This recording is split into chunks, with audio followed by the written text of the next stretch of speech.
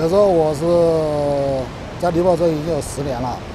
可是我是从这个项目的开工到现在呢，一直在坚守在这个国家。呃，现在的这个项目呢，这个引进了发电，可以说这种清洁能源，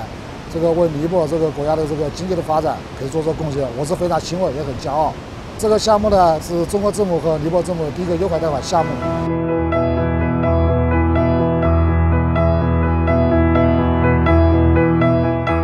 二年地震的时候呢，当时可以说整个的道路也被摧毁了，当地也是主动的这个帮助我们带路，协助一些生活物资，这个到现场来，保证了我们中方人员的这个正常的生活。同时呢，我们也拿出我们正常的我们的这些这些生活物资啊，来帮助当地的灾民，来共度这个难关。这是可以说在地震这个大灾大难之前呢，这个真正的是体现了我们和当地人的一个深厚的感情。